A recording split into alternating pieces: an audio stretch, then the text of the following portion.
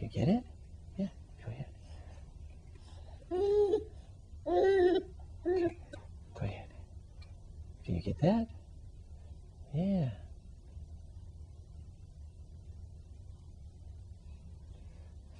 Very good. See that hand movement? He reaches actually kind of the ulnar hand, but a whole hand and kind of raking in. A little bit young to develop a pincer grasp right now, but doing well for his age. Brings it to his midline, to his mouth, sucks on it, can transfer hand to hand. Okay, let's see this one. Want that one? Want that one? He picks that one up. And actually he's got, and can bang them together. That's very, very good for his age. All right. Green's a little bit better than yellow. Huh? Okay. Very good. That's pretty neat. You reach for the object, comes up, very good, and transfers. Very good transfer hand to hand. Okay.